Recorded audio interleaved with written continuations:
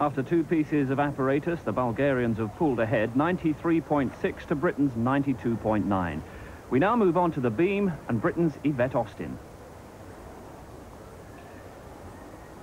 14-year-old Yvette Austin just had a tremendous exercise on the asymmetric bars and now this most difficult piece for the women that four-inch wide beam so often proved the undoing of the British girls in international competition. Nice and confident so far, though.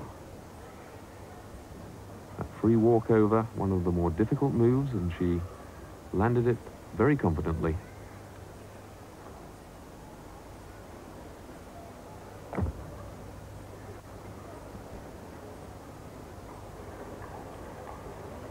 There the planche.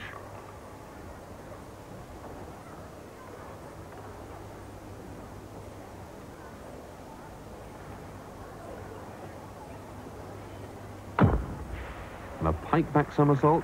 Again, beautifully landed. This really is an impressive exercise.